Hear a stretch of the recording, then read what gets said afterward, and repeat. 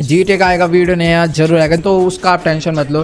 वो आएगा ज़रूर बट भले ही थोड़ा डिले हो जाए बट आएगा ज़रूर, ये बात आप याद रखना, ठीक है? अगर आपको थोड़ा बहुत और वेट करना पड़ जाए तो कोई दिक्कत नहीं बट आएगा ज़रूर उस चीज़ की आप टेंशन मत करो।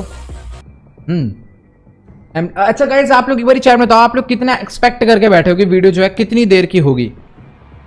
मतलब कि आधे घंटे की होगी, एक घंटे की होगी? दस घंटे की होगी।